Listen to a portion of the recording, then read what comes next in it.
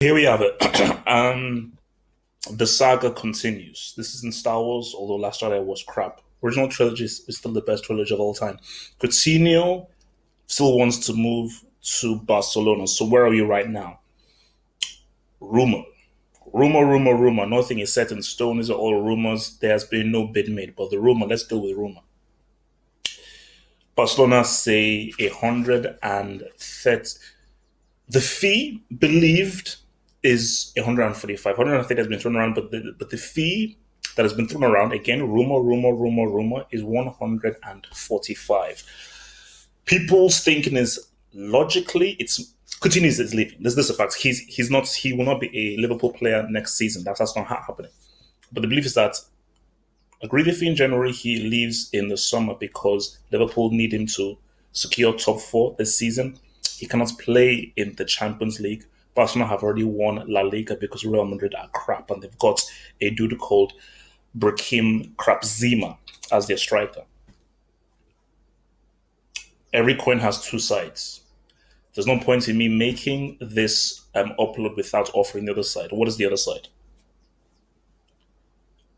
Valverde wants to do battle on three fronts. He doesn't have a deep squad quality wise. Quality wise, Denis Suarez is crap. David Feo is, is crap. Those guys are crap. I don't care what anyone says. You get Coutinho. He allows Iniesta to rest.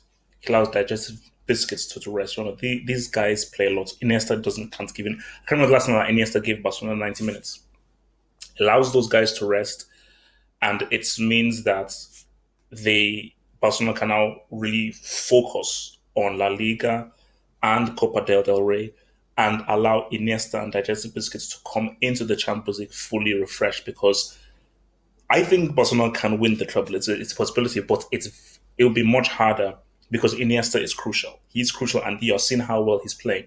But he's getting older. He can't give you 90 minutes. And if you want Iniesta to play Copa del Rey, La Liga and Champions League, that's going to be tough, especially against Chelsea, which is a physical team. That's going to be tough. That's just the reality. So, I that's the argument for them getting him in January. I don't see this happening in in general because I've been looking at Twitter. I've been I, I watched the ESPN FC videos, and it doesn't make for Liverpool's point of view, it doesn't make sense to sell him in January because you need him for top, top, top four. They can get top four without him, but with him, it's a lot.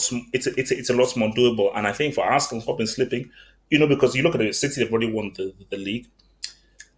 I think it's going to be between United and Chelsea, but it looks like maybe Chelsea may, may get second.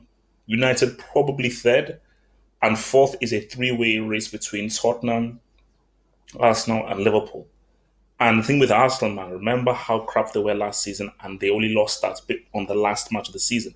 So Arsenal are always a tough team for that whole top top four. So that's why I just think that you know, like this is this is going to happen in the summer, and I think for people, this will probably be the second most shocking transfer move in recent mem- memory. If it happens in January, the most shocking move, of course, was the Luis Figo move to um, Barcelona to Real. This could arguably be the second most shocking because if it happens in January, because if it happens in January, it'll, it'll be mind-boggling from Liverpool's point of view.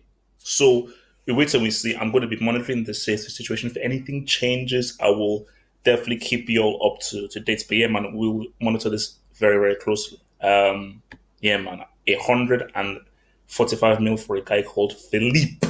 Interesting.